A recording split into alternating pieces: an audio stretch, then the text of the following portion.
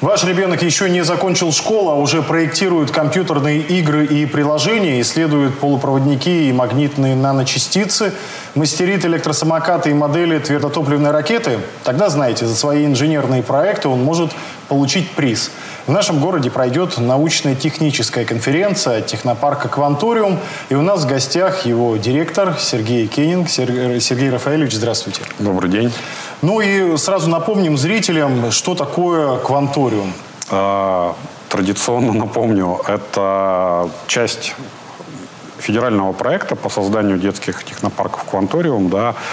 В Краснодарском крае технопарк появился в 2017 году, после того, как край стал победителем федерального конкурса на право создания такого учебного заведения. По сути, это учреждение дополнительного образования, инженерно-технического профиля – вот, мы работаем со школьниками, а, готовим из них будущих э, специалистов, программистов, инженеров, э, ученых э, химических лабораторий, а, способных работать в прикладной космонавтике и так далее.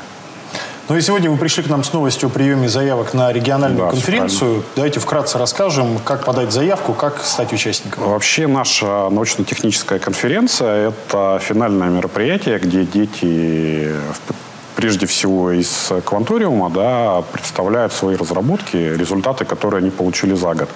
Но с прошлого года мы решили расширить формат и предоставили такую возможность для любых ребят из Красноярского края. Соответственно, любой желающий, командой или, может быть, это индивидуальный проект, да, отдельный какой-то э, школьник, могут подать заявку э, и поучаствовать в отборе. Соответственно, получить ценные призы от нашего технопарка, либо от наших партнеров, которые будут принимать участие в конференции, э, вплоть до возможности завершить свой проект, довести его до ума, до реализации. В этом году будут какие-то отличия от конференции прошлого года? Ну, скорее всего, э, будет увеличено количество участников, да, потому что популярность растет, да, мы только второй год это реализуем для всего региона. А, конечно же, изменятся проекты, которые будут представлены, потому что ну, каждый год наши дети придумывают что-то новое. Вот. И мы с интересом ждем, конечно, да, и я думаю, что изменится и география, да, скорее всего, она станет шире, и, он, и она изменится еще и по э, представленности территорий, которые в них участвуют, потому что, например, наш мобильный технопарк каждый год меняет э, регионы, территории, точнее, в которые он выезжает, да, и оттуда ребята, ребят талантливых мы тоже вытягиваем на эту конференцию. По вашим ощущениям, э, в этом году Будут ли какие-то отличия в заявках по уровню, по качеству проектов по сравнению с прошлым годом? Я думаю, что, несомненно, проекты станут э, более качественные, да, потому что ну, мы же работаем с ними, ребят поддерживаем, э, кого-то дистанционно, кого-то прямо в, в помещении детского технопарка, и, соответственно, учитываем ошибки прошлого года. Да, и даем возможность в том числе ребятам и развивать те проекты, которые будут э, представлены у нас на итоговом нашем событии. Вот всего будет, напомню, четыре номинации. А, в этом году это IT-проекты, это инженерно-технические проекты, это проекты, связанные с промышленным дизайном. И четвертая номинация – это научно-исследовательские проекты. Что касаемо э, проектов, которые запомнились больше всего вам?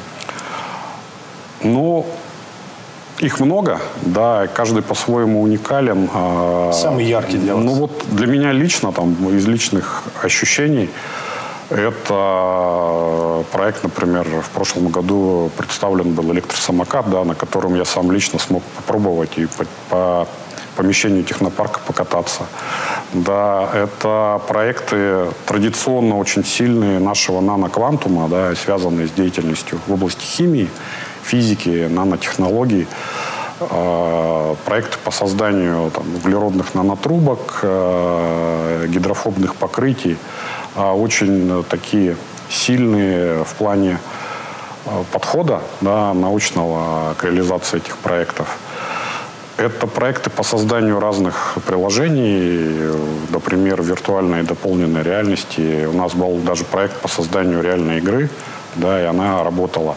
Был интересный проект одного из э, наших ребят по созданию системы, подобной системы работы с партнерами, да, которая в бизнесе очень востребована, CRM, так называемая. Он, причем он сделал этот проект для своей мамы, которая у него работает на одном из предприятий города, как бы, и успешно нам ее представил. Ну и у нас не так много времени остается, э, так чтобы понять, насколько Э, развито вот это образование у нас в территории края и насколько партнеры вас поддерживают, вузы или бизнес? А, традиционно, конечно же, во-первых, растет количество организаций, да, которые работают в сфере инженерно-технического творчества. Да.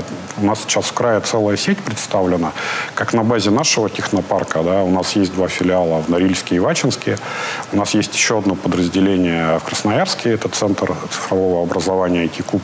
У нас есть мобильный технопарк, как я уже говорил, который путешествует по территориям края и в год охватывает шесть агломераций. Кроме того, на базе школ у нас тоже создаются детские технопарки «Кванториум». У нас также э, не один десяток э, таких мест есть на базе школ, как точки роста. Да, это такие мини-технопарки, в которых дети тоже занимаются э, научно-техническим творчеством. То есть количество растет, ну и спрос на этих специалистов, да, на будущих специалистов э, в перечисленных мной областях довольно большой. Поэтому, собственно, у нас нет отбоя от партнеров. Вот. Э, это крупные и средние промышленные предприятия края, это и вузы, это среднеспециальные учебные заведения. Сергей Рафаэльевич, и финальный вопрос. До какого можно подать заявки числа и как это сделать? Довольно легко. До 12 апреля можно всю информацию необходимую получить э, на нашей социальной странице ВКонтакте, либо на нашем сайте, да, либо можно позвонить по телефону 257 37 97. Мы всю необходимую информацию предоставим. Спасибо большое. Спасибо. А я хочу напомнить, что сегодня у нас в гостях был директор технопарка «Кванториум» Сергей Кенинг.